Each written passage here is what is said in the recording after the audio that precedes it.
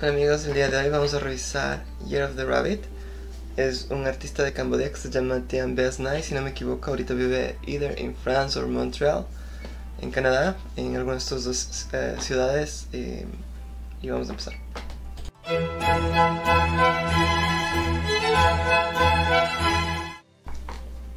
Bueno, Year of the Rabbit lo compré en el bookstore de UBC de la Universidad de Columbia Británica y lo compré porque estoy en medio de mi doctorado y no tengo tiempo para leer y me siento mal si no leo libros y así siento que avanzo en la vida, así que compré esta novela gráfica.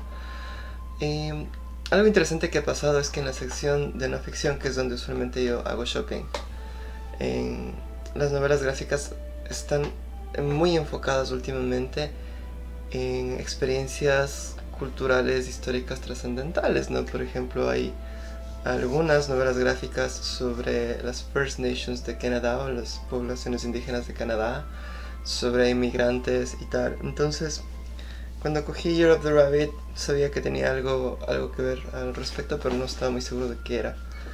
Y ahora que lo he acabado, eh, son aproximadamente 350 páginas que relatan eh, la guerra en Camboya eh, en los 70 en la década de 1970. y bueno, así es como este libro llegó a mi vida. Em, voy, a, voy a ir directamente al relato porque lo que pasa es que toca demasiado y no puedo seguir sin hablar de eso. Bueno, el libro empieza con una familia normal, el, digamos el cabeza de familia en este caso es un médico eh, tiene una esposa, eh, tiene un hijo en ese entonces y los personajes digamos que es una familia empleada, es decir, están los primos, los tíos, los abuelos, los cuñados, suegros y todo eso, entonces es una familia empleada.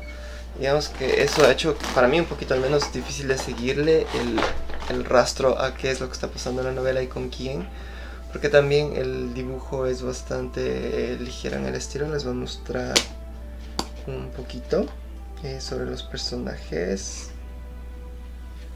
Aquí. Entonces todos se parecen bastante y si no pones demasiada atención y no estás acostumbrado a seguir el hilo de nombres que no son conocidos en tu cultura como es mi caso es un poquito difícil seguir a los personajes. Pero bueno empieza con una familia empleada que vive en Cambodia y de repente hay una golpe de estado de un régimen comunista que toma el poder, em, obligan a todos en, un lapso muy corto a dejar la ciudad y esta gente de repente tiene que llevarse unas pocas cosas que puede llevar en su auto y al, poco tiempo desarman el auto que pueden llevar en una carreta y al poco tiempo esas cosas son confiscadas y pueden llevar lo que tienen en los bolsillos. Básicamente esa es la, la historia para ser un poco, un poco corta, muchas de, las, muchas de las personas en la familia tratan de escapar hasta que llegan a un punto donde eh, se encuentran en un checkpoint. Y en este checkpoint eh, son descubiertos y dejan de ser gente itinerante, viajeros, y pasan a ser parte del orden del régimen eh, en la guerra. Y los horrores de la guerra de ahí en adelante son descritos para todos. Eh, no, no sabía absolutamente nada de lo que había sucedido en Camboya. Estoy en shock. Es desastroso, es... Y ahora entiendo por qué la contratapa dice que es una de las dos más grandes tragedias de nuestros... digamos de la, de la segunda mitad del siglo XX. Es que estoy en shock. Es ah, inconcebible. Es increíble lo aterradores que somos los seres humanos y lo oscuro, los oscuros que somos los seres humanos. Eh, es increíble. Me recuerda mucho a cosas que yo he leído. Yo estudié política pública y entre una de mis clases eh, yo estudié conflicto durante la guerra. Entonces no son temas que sean nuevos para mí, son brutales. Eh, hay un libro que yo leí al respecto que se lo recomiendo a todos si alguien quiere realmente enterarse cómo es la guerra, que se parecen un poco a, los libros de esta señora rusa que entrevista soldadas rusas, eh, ¿cómo se llama? Ganó el Nobel. Eh, voy a poner el nombre aquí abajo porque no me voy a acordar ahorita, pero el libro que yo les voy a recomendar se llama A Long Way Gone de Ismael uh, B. Y ahí narra sus memorias siendo víctima de la guerra, siendo secuestrado, luego siendo soldado y siendo él eh, ya no la víctima sino el victimario, si es que uno puede separar esos dos roles. Este cómic, siendo cómic, me recordó mucho a eso. Eh, el cómic simplifica mucho la historia.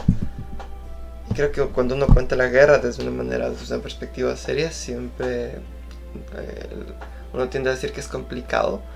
Pero al tener que narrarlo en cómic y dibujarlo y hacer eh, frames simplificados, uno también ve la, que hay cosas a las que no se les puede dar un matiz demasiado extremo porque simplemente son escabrosas, son oscuras, son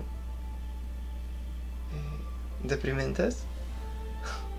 Y bueno, es un cómic sobre un genocidio.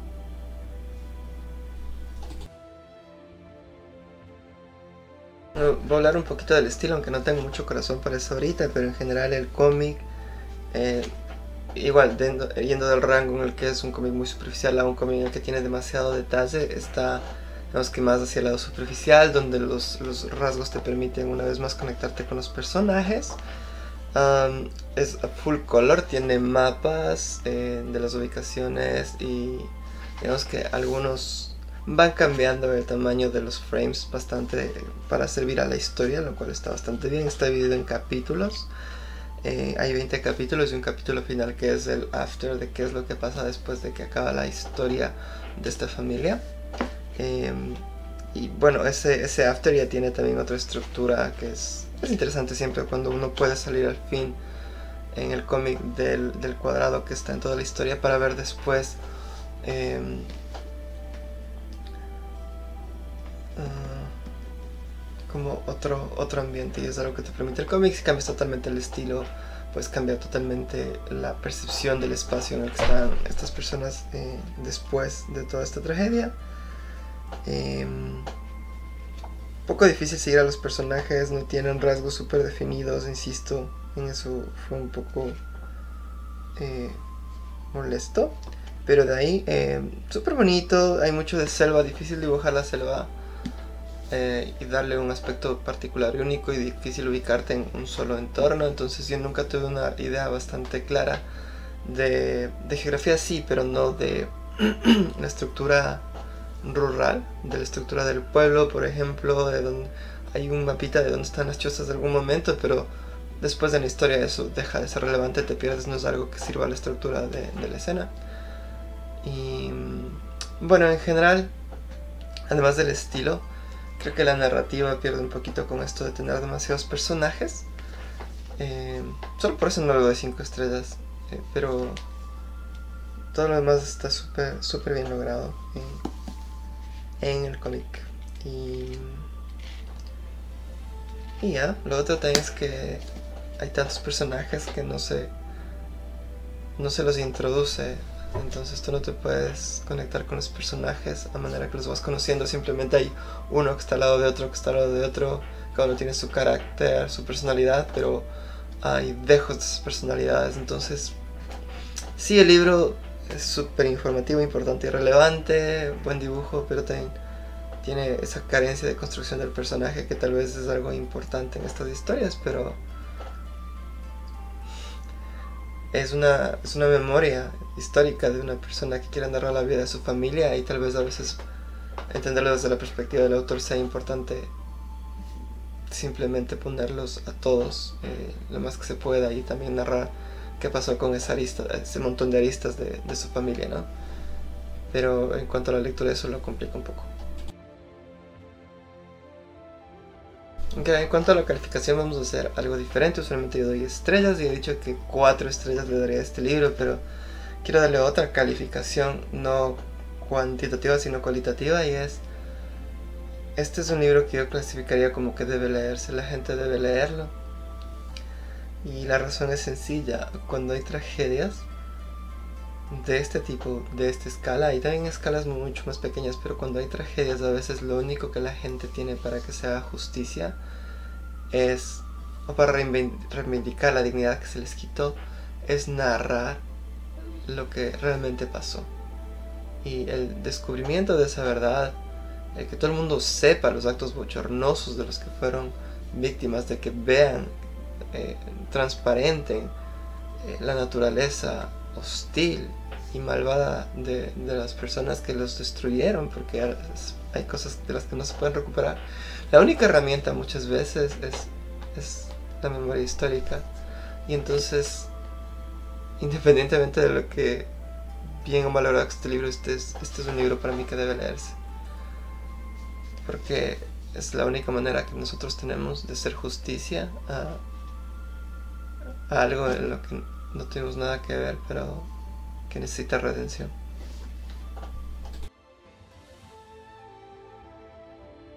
Y bueno amigos, eso ha sido todo por hoy. Eh, como ya saben, si quieren apoyarme en el canal pueden hacer sus donaciones en este enlace de aquí. Y les voy a dejar algunas cosas, les voy a dejar el enlace a una, al, libro que les menciono de Ismael B.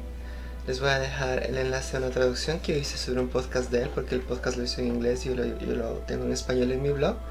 Lo traduje gratuitamente y mm, si encuentro alguna otra cosa que recomiendo para entender la guerra, em, también les voy a dejar. Bueno, eso ha sido todo por hoy. Soy Andrés Delgado y gracias por verme. Nos vemos la próxima. Chao.